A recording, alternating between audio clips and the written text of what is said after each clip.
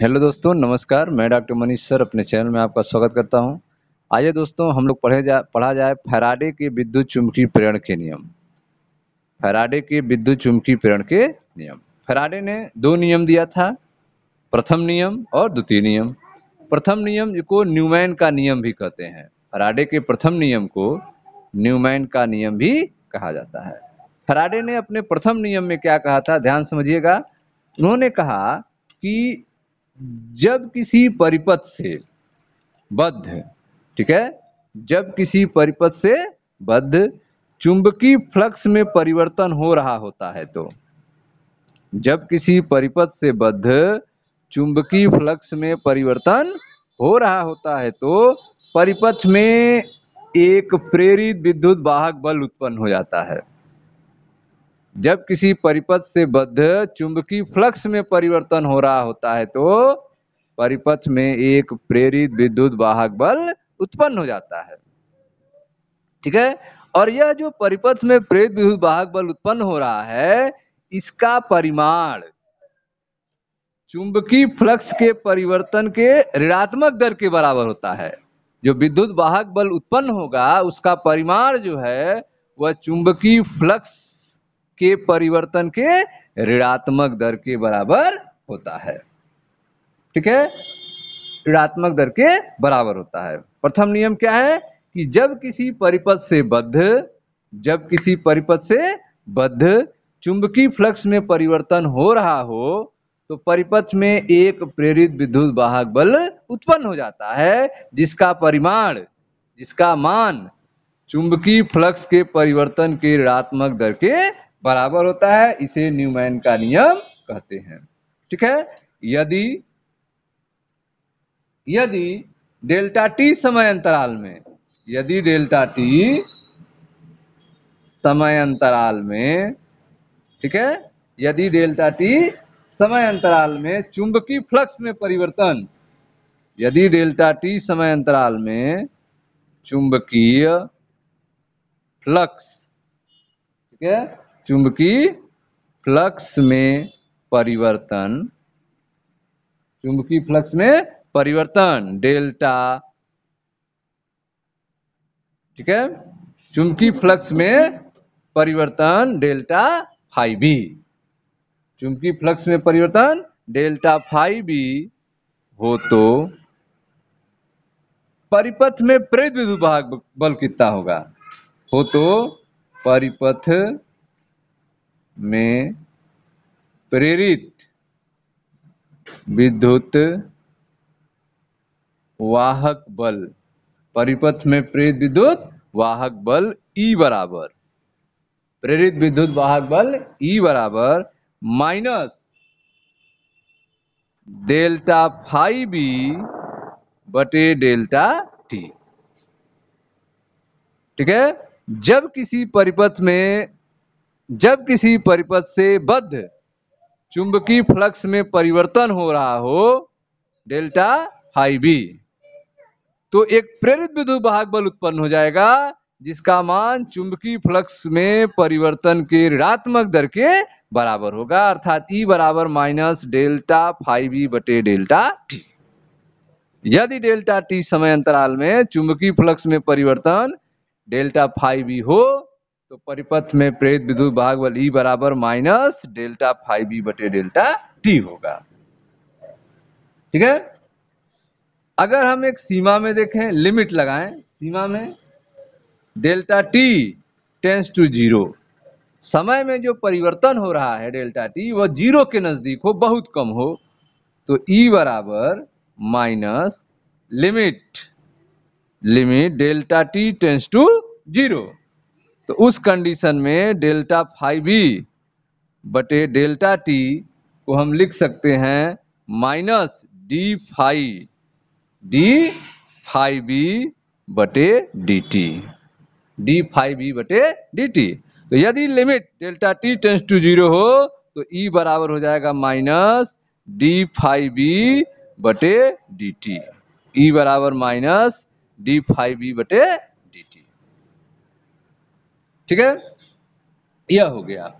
ऋणात्मक चिन्ह यहाँ पर जो आया है, ऋणात्मक चिन्ह यह बता रहा है कि प्रेरित विद्युत वाहक बल सदैव फ्लक्स परिवर्तन का विरोध करती है। प्रेरित विद्युत वाहक बल जो उत्पन्न हो रही है, वह सदैव फ्लक्स परिवर्तन का विरोध करती है। ठीक है? तो इस तरह से आपने फराडे के विद्युत चुंबकीय प्रेरण का प्रथम नियम देखा कि जब किसी परिपथ से बद्ध चुंबकीय फ्लक्स में परिवर्तन हो रहा होता है तो परिपथ में एक प्रेरित विद्युत वाहक बल उत्पन्न हो जाता है। और जिसका परिमाण चुंबकीय फ्लक्स के परिवर्तन के ऋणात्मक दर के बराबर होता है, अर्थात E बराबर माइनस डेल्टा फाइव बटे डेल्टा टी यदि समय परिवर्तन बहुत कम हो, टेंस टू ज़ीरो हो तो E बराबर माइनस डी फाइव ई ठीक है? ई बराबर माइनस डी फाइव बी बटे डी टी हो जाएगा। ठीक है? ऋणात्मक चिन्ह ऋणात्मक चिन्ह हमें यह बता रहा है कि प्रेरित विद्युत वाहक बल सदैव फ्लक्स परिवर्तन का विरोध करता है। ठीक है? अब यदि डी फाइव वेबर में हो डी फाइव किसमें लिया गया हो? वेबर में। डी फाइव बी वेबर में हो और समय डी टी जो है, वह सेकेंड में हो। तो प्रेरित विद्युत वाहक बल जो ई होगा, वह बोल्ट में आ जाएगा। ठीक है? तो यदि डी फाइव बी वेबर में हो डी टी सेकेंड में हो तो प्रेरित विद्युत वाहक बल ई बोल्ट में होगा। ठीक है? यह जो समीकरण आप देख रहे हैं E बराबर माइनस डी फाइव बी बटे डी टी ठीक है? यह स्वतंत्र प्रायोगिक नियम को व्यक्त करता है। यह समीकरण जो है, स्वतंत्र प्रायोगिक नियम को व्यक्त करता है, जो अन्य प्रायोगिक नियम से व्युत्पन्न नहीं किया जा सकता है। ठीक है? यह एक स्वतंत्र प्रायोगिक नियम को यह व्यक्त कर रहा है, जिसको किसी अन्य प्रायोगिक नियम से उत्पन्न नहीं कर सकते हैं डिराइव्ड नहीं कर सकते हैं। यह स्वतंत्र प्रायोगिक नियम को व्यक्त कर रहा है ई बराबर माइनस डी फाइव बी बटे डी टी ठीक है? अब जो है, यदि परिपथ में कोई कुंडली है, जिसमें तार के यन फेरे हो, तब क्या होगा? ठीक है?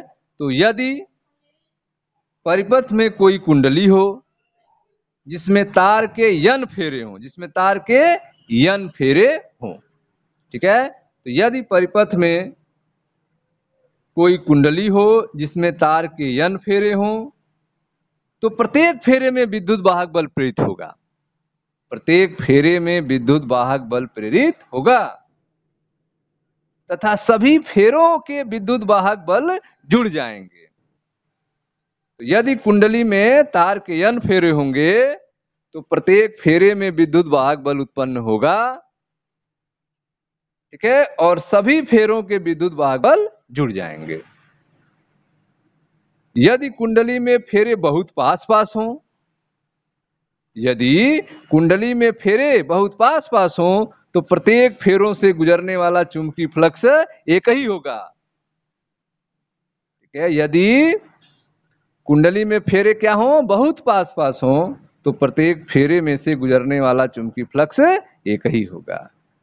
ठीक है? उस कंडीशन में पूरी कुंडली में प्रेरित विद्युत वाहक बल कितना होगा?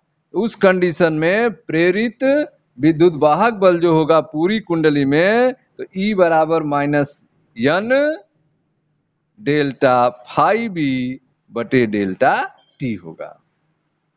ठीक है?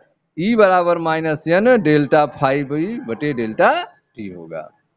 ठीक है? इसको इस तरह से लिख सकते हैं, बराबर माइनस डेल्टा को बाहर कर दें इन bracket N five B N five B बटे delta T N five B बटे डेल्टा टी डेल्टा को बाहर कर दिया गया है। ठीक है? तो E बराबर minus N delta five B बटे डेल्टा टी या E बराबर माइनस डेल्टा बाहर कर दिए, ब्रैकेट में लिख दिए एन फाइव बी बटे डी टी डेल्टा टी यहाँ पर जो एन फाइव बी आप देख रहे हैं N five B N five B यह जो है N five B N five B ठीक है एन फाइव बी कुंडली में फ्लक्स ग्रंथिकाओं की संख्या कहलाती है। एन फाइव बी क्या कहलाती है? कुंडली में फ्लक्स ग्रंथिकाओं। फ्लक्स ग्रंथिकाओं की संख्या। फ्लक्स ग्रंथिकाओं की संख्या। फ्लक्स लिंकेज कहलाती है। नंबर। फ्लक्स ग्रंथिकाएँ फ्लक्स लिंकेज की संख्या कहलाती है। इसका मात्रक जो होता है, वेबर। ठीक है? वेबर टर्न होता है। वेबर टर्न होता है। यन फाइवी जिसे फ्लक्स ग्रंथिका कहते हैं, फ्लक्स लिंकेजेस कहते हैं इसका मात्रक बेबर टर्न होता है। ठीक है? यह था आपका फराडे के विद्युत चुंबकीय प्रेरण का प्रथम नियम ई बराबर माइनस डी फाइव बी बटे डी टी या ई बराबर माइनस डेल्टा फाइव बी बटे डेल्टा टी ठीक है? अब आते हैं द्वितीय नियम की बात करते हैं। फराडे का द्वितीय नियम क्या है? ठीक है? तो फैराडे का जो द्वितीय नियम है, जो सेकेंड ला है, उसे लेंज का नियम भी कहते हैं। फैराडे के द्वितीय नियम को लेंज का नियम भी कहते हैं। ठीक है? द्वितीय नियम में क्या कहा गया है? तो फैराडे का जो आपका द्वितीय नियम है, सेकेंड ला। द्वितीय नियम। किसी परिपथ में है किसी परिपथ में प्रेरित विद्युत वाहक बल, विद्युत वाहक बल, ठीक है? किसी परिपथ में प्रेरित विद्युत वाहक बल अथवा प्रेरित धारा प्रेरित धारा की दिशा प्रेरित धारा की दिशा सदैव, हमेशा सदैव ऐसी होती है, सदैव ऐसी होती है कि यह उस कारण, यह उस कारण का विरोध करती है। उस कारण का विरोध। उस कारण का विरोध करती है जिससे जिससे कि स्वयं, जिससे कि स्वयं उत्पन्न होती है। ठीक है? तो द्वितीय नियम में, जिसे लेंज का नियम भी कहते हैं, बताया गया है कि यदि किसी परिपथ में प्रेत विद्युवाहक बल या प्रेत धारा उत्पन्न हो तो उसकी दिशा सदैव ऐसी होगी कि यह उस कारण का विरोध करेगी जिससे वह स्वयं उत्पन्न होती है। ठीक है? इसे फराडे का द्वितीय नियम या फिर लेंज का नियम कहा जाता है। इसको आपको अलग से बताया गया है। Thank you.